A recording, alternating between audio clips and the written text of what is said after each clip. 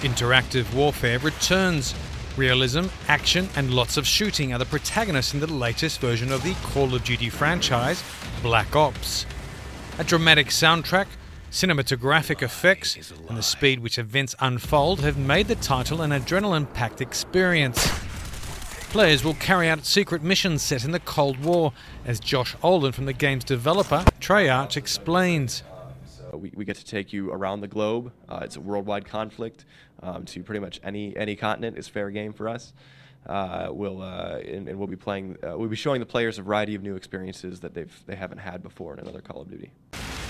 As expected, violence is explicit and blood is omnipresent, but that's something fans most want. The countdown continues. Call of Duty Black Ops will hit store shelves for Xbox 360, PlayStation 3, Wii, and PC on the 9th of November.